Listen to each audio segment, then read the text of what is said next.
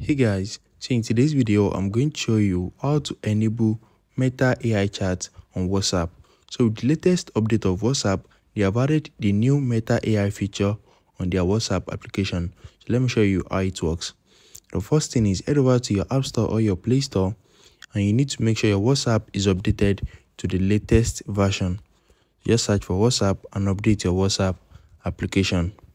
So once you have updated your whatsapp to the latest version open it and at the top right corner you are going to see the new ai feature. So as you can see this is the icon beside our camera. So if you are using android device you are going to see it right here. It's going to be at the top of the create new contact option.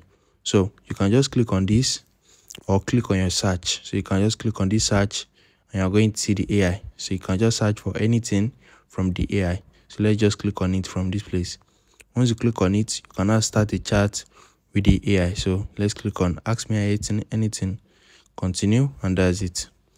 You can now start chatting with the whatsapp ai it is very easy to use and very straightforward. So if you can't find this feature on your whatsapp that means it is not yet available in your country or they have not added it to your account. Just wait for a few more weeks or a few more days and you're going to see the option on your whatsapp.